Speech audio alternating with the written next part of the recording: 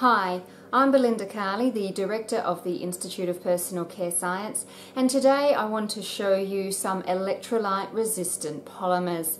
Now, one of the difficulties that you face when formulating with polymers is you need to make sure it's compatible with everything else you have in your formulation.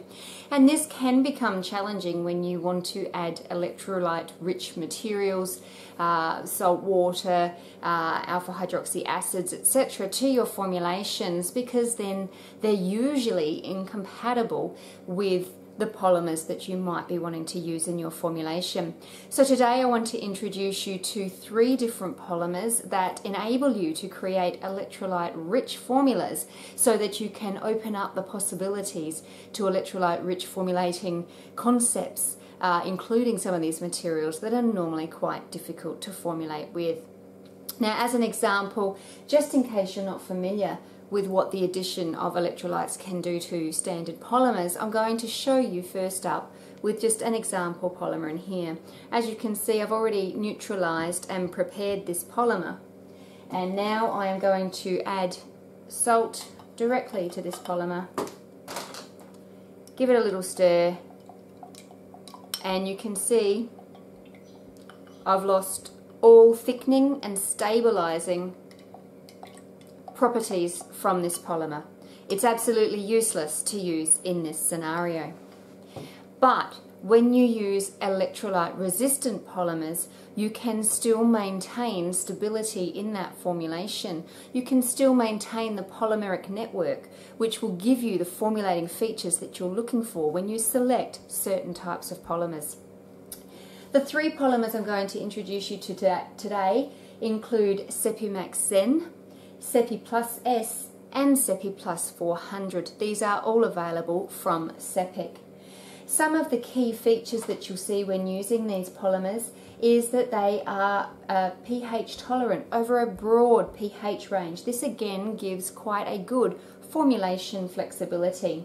They all come pre-neutralized and your choice of which material to use over another will depend on the type of feel, the sensory aspects that you're hoping to achieve with the finished product.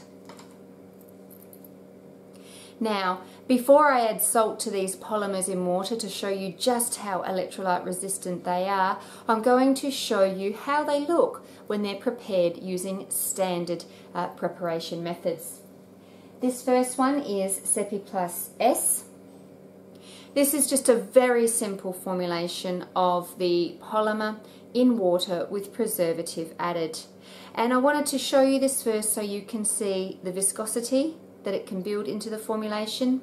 Of course, you have the sensory aspects that Sepi Plus S can bring to a formula. It's suitable for aqueous gels, cream gels and emulsions and imparts a beautiful powdery feel to formulations. It's also compatible with DHA if you're preparing tanning lotions and tanning gel formulas. So this is Sepi Plus S and to this I'm going to add directly 2% of salt give it a stir and you'll see it is maintaining its viscosity, it's maintaining its polymeric properties. It is truly an electrolyte tolerant polymer.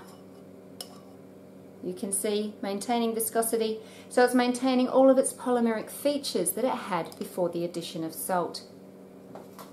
I now want to introduce you to another material. This is Sepimax Zen. Now Sepimax Zen can yield quite clear or slightly hazy gel uh, formulas. It has uh, a beautiful, elegant, velvety feel. So if you wanted a clear or slightly hazy formula, Sepimax Zen is the product of choice. Again, this is just Sepimax Zen in water with preservative added. And to this I'm going to add 2% salt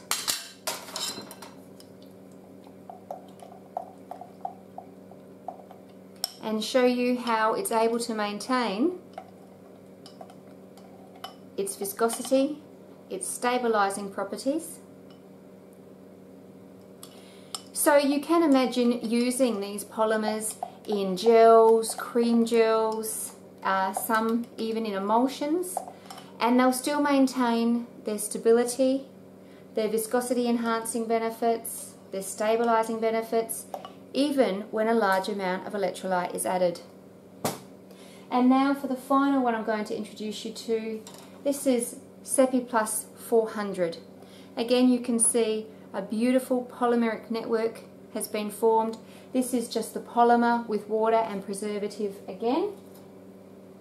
And now adding 2% salt. Sepi Plus 400 gives a beautiful silicon touch.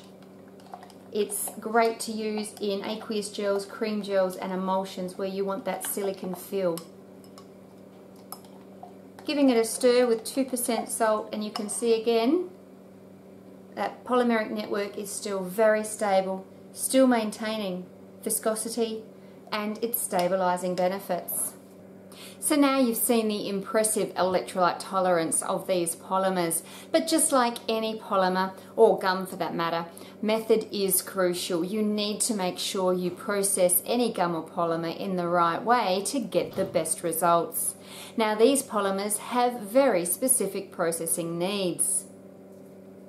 Sepimax Zen is best added in the oily phase and then mixed for 10 minutes with a deflocculating stirrer at 1000 rpm or add in the aqueous phase, leave overnight preserved, then mix for 2 minutes using an anchor stirrer at 100 rpm. Sepi Plus S you can add to the oily or aqueous phase or after emulsifying. Using a rotor stator is best for 2 to 3 minutes at 4000 rpm and Sepi Plus 400. For cream gels, add the polymer to the oil and then add to the water phase. For emulsions, add the polymer to the oily or aqueous phase before processing and use a deflocculating stirrer for 3 to 4 minutes at 800 to 1200 RPM. Of course, when scaling up, you'll need to validate your processing methods depending on the batch size that you'll be preparing. Now you were probably impressed with seeing the amazing electrolyte tolerance of these polymers when they were just polymer in water and salt added. But they can do much more than just that. They can stabilize quite a high amount of lipid as well. And to show you, I've pre-prepared some mixtures and in these mixes I've used 3% of each polymer in 81% water with a preservative and then I've also added 15% lipid and I want to show you the viscosity that we have. This is Sepimax Zen. Now Sepimax Zen is better for creating gels but I just wanted to show you with 15% lipid it is quite capable, more than capable of stabilizing 15% lipid and I'm showing you this so that you know you have the formulation flexibility to add easily up to 15% lipid when using Sepimax Zen as your electrolyte resistant polymer. You may choose instead to use Sepi Plus S. Again, simple formulation with just 15% of a lipid and you can see beautiful emulsion has formed so this is a beautiful cream gel uh, type emulsion and of course still maintains its electrolyte resistance. And finally Sepi Plus 400, again 15% lipid added. This isn't to say you need to add this much lipid, but just want to show you how efficient these polymers are at stabilizing quite a high proportion of lipid and still inferring their electrolyte resistance. I hope you've enjoyed the introduction today to some amazing electrolyte resistant polymers. I look forward to helping you with more innovative formulation solutions on the next video.